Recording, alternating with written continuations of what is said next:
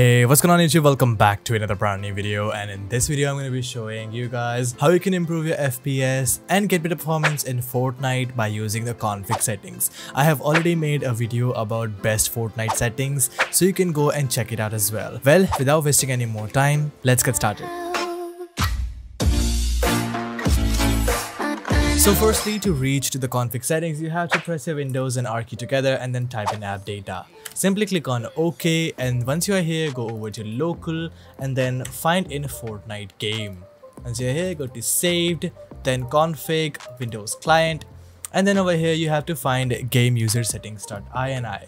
Simply right click on that, go over to edit in notepad. Once you're here, the first thing that you'll find is the full screen mode. Set this thing to 1.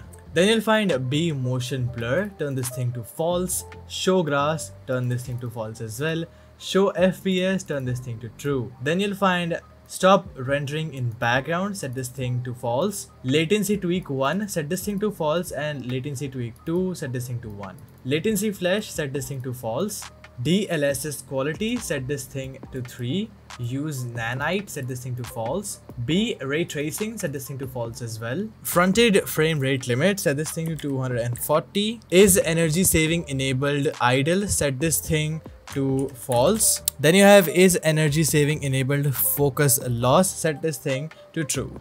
Then you'll find B use headphone mode, set this thing to false. B allow full game download, set this thing to false. B show temperature, set this thing to false. B use VSync, set this thing to false.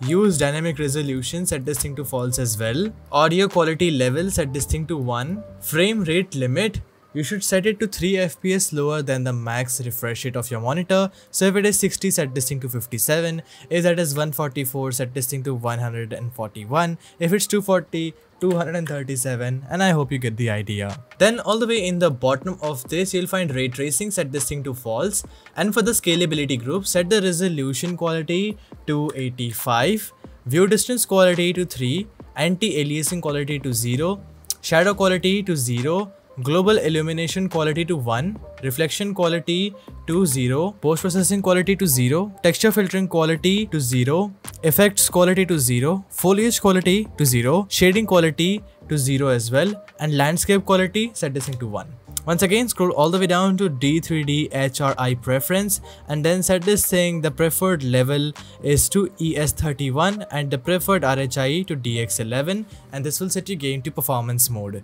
Once again, you can also go into the game and set this thing to DX12 on DLSS. If you watch my video on Fortnite settings, I have already told you guys. So once again, if you're here, you have to apply the DX11 to make sure that you're using performance mode while playing the game. Simply press Ctrl and S and then close this. After that right click on this file, go over to properties, then select read only so the game does not overwrite your settings and you will be playing on the constant settings right away. Once again, if you want to make any changes to the settings via game, I highly recommend you guys not to do this because your game would not accept any settings change. Before moving ahead, if you want to record your gameplay on a low-end PC, EaseUS RecExperts will be an amazing screen recorder only for you. You can download this from the link in the description below for completely free and open up this application, you will see an interface like this. You can record your full screen, audio, gameplay, including your webcam, system sound and microphone. It helps you to record in one click and you can record up to 144 FPS gameplay with this application. The best part is it offers GPU hardware acceleration which is really helpful in saving system resources. You can add custom hotkeys to get accustomed to your favorite recording keys. You can also record your mouse highlights as well if you're recording your screen. Make sure to run this application always as an administrator and then click on OK and hop into your game, record some gameplays and enjoy. Once again, check out EaseUS RecExperts from the link in the description below for free.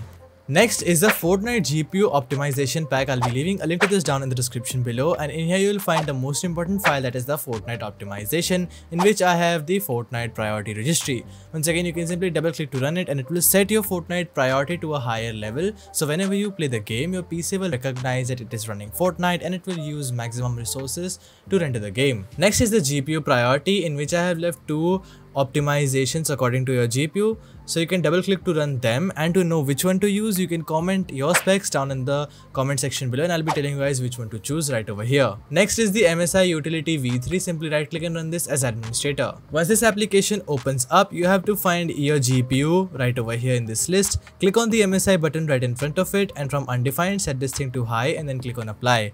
It will make sure that your GPU affinity is set to a higher level to be utilized to render the games.